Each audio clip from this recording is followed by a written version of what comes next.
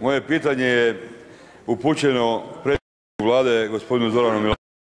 Predsjedniče hrvatske Vlade, s obzirom da ste u protekla 24 dana nekoliko puta pod navodnicima posjetili hrvatski ulici koji su spontano započeli sa prosvjedom i pozvali svoje kolege hrvatske ratne vojne invalide i branitelje, možete li mi kratko odgovoriti koliko je djece i unuka iza sebe ostavila tragično preminula Nevenka Topalušić ili kako se zove te koji je problem bio okidač za očajnički čin samozapaljivanja branitelja u Savskoj ulici i kako se zove branitelj koji je ispred ministarstva započeo štrajk glađu?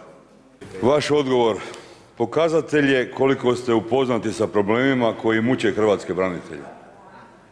Vaš odgovor pokazatelj je koliko cijenite odnosno ne cijenite zdravlje i živote ljudi koji su svoje najvrjednije dali za ovu domovinu jer da je vaše znanje bar upola veliko kao vaša taština i vaš ego, poštedjeli bi, prošetali bi do Savske, porazgovarali s tim ljudima koji su vam omogućili da vi danas sjedite u premijerskoj fotelji.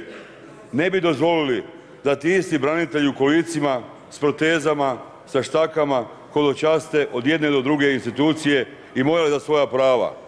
Nije istina gospodine Milanoviću da se prava branitelja nisu dirala. Nitko od vas ne spominje ili ne zna za smanjenje mirovine iznad 5.000 kuna koje su početkom godine smanjene za 10% i to po drugi puta od početka krize. Opskrbnine koje su pretvorene u jednokratnu potporu i više nisu pravo iz Zakona o braniteljima već su stavka Ministarstva socijalne skrbi koje po sadašnjim kriterijima 70% dosadašnjih korisnika više ne može ostvariti kao i zakonska prava najtežih 100%-tnih invalida koja se ne mogu ostvariti iz zdravstvenog osiguranja. Branitelji su dobrovoljno stvarali i branili ovu državu, a sada ti isti branitelji prisilno nose najveći teret vaše nesposobnosti. Država Hrvatska je jedina zemlja na svijetu koja agresorskoj vojski isplaćuje mirovine. Nikada niti jednom zahtjevu za ostvarenje prava iz mirovinskog osiguranja osiguranika iz Srbije kao ni iz Bosne i Hercegovine nije priložena potvrda nadležnih institucija naše zemlje da se nisu ogriješili o propise naše države tj. da nisu učestvovali u agresiji na našu domovinu.